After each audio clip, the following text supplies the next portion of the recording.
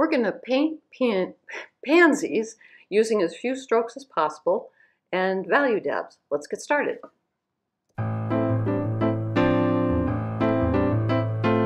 All right, here are the value dabs, but I make these as I paint. I don't make these ahead of time because everything, if you paint, if you make your piles ahead of time, you might not be the they might not have the same relationship to each other that you're hoping to have.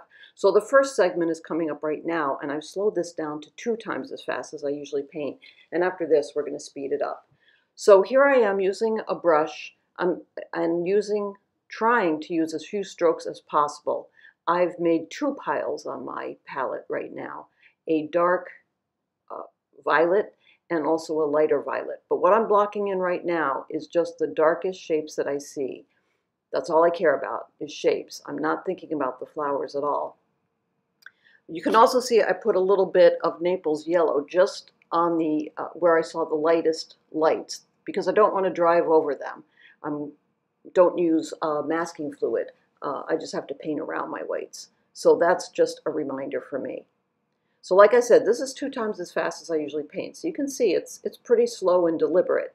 I load the brush. The paint is thick um, almost as thick as gravy, maybe, maybe even thicker than that sometimes, because I don't want to have to make a second pass. I don't want this to look labored, and like I said, I want to use as few strokes as possible, so that means I have to really load my brush with a lot of pigment and make sure that it's thick from the very beginning. In essence, what I think I'm trying to say in a long way is that I'm this is probably more the way uh, a maybe an oil painter or an acrylic painter might paint. I'm not sure. It's just something that I prefer to do. Now I'm going to start with my value card. Remember I said at the beginning I'm going to make this painting according to value shapes, not the individual pansies. So I have my darks in and I have my lights, my, which is going to be the white of the paper.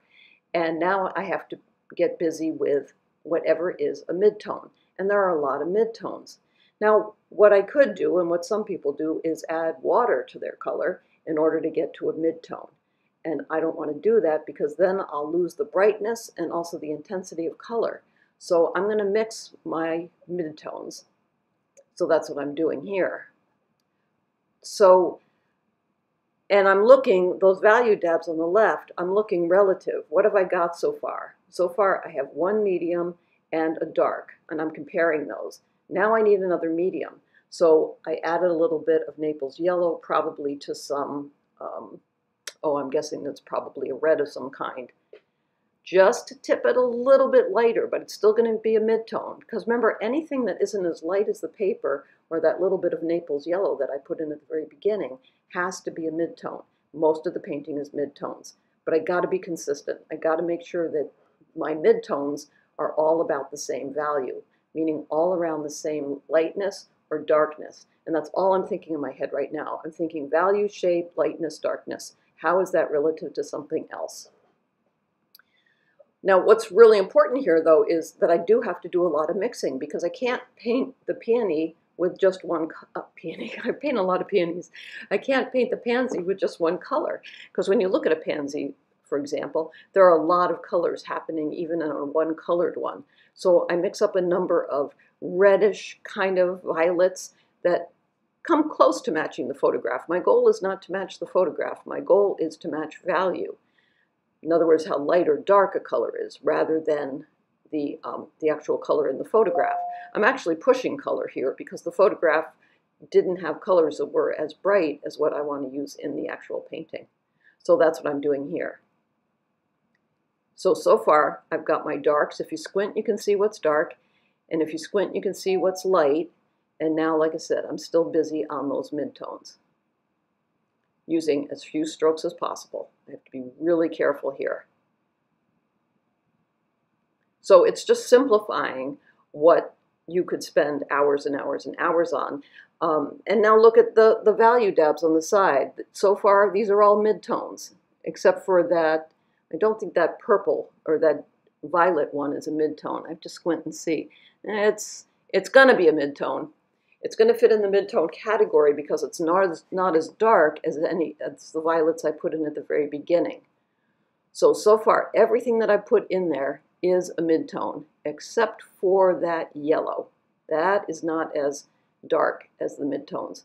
So I need a dark yellow. So I mixed, uh, I used um, a little bit of, what did I use here? Probably some burnt sienna because I knew I needed a dark yellow.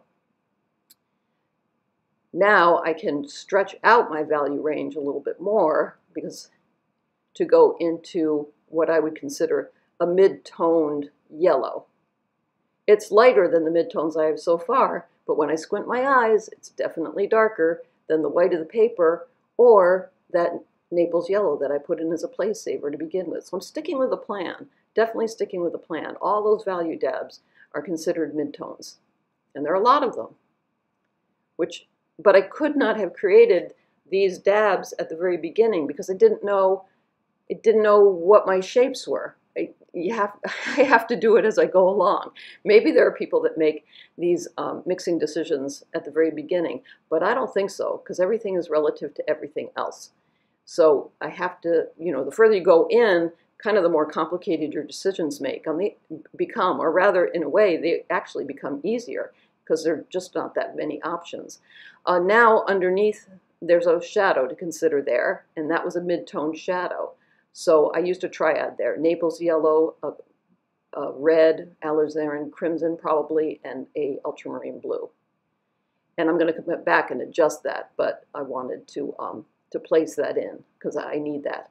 And now I need to consider the, um, the glass that the flowers are in and I decided to paint it with neutral colors. I'm still sticking with the value plan. I saw midtones in there, so I'm making those midtones, but I'm using grays. And the gray that I'm using is mixed from all the other, many of the colors that I've already used in the painting. It would not be a good idea right now to bring in something that I haven't used before, because it just kind of won't match. It kind of won't go with everything else.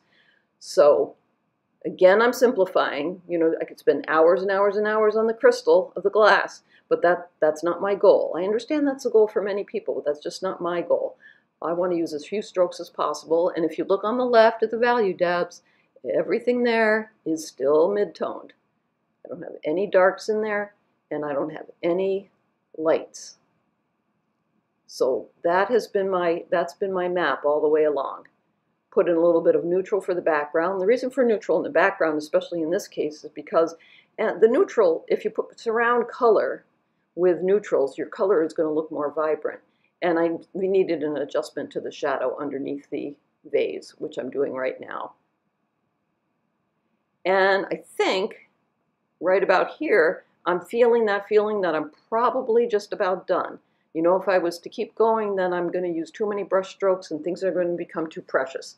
What I'm doing right now, just to satisfy myself, is making sure that there are no complete whites left where, where they shouldn't be. So if something is on the shadow side of the flowers and, it, and it's white, I have to get rid of it because anything in shadow, even if it's white, is going to be darker than the white of where the sun hits.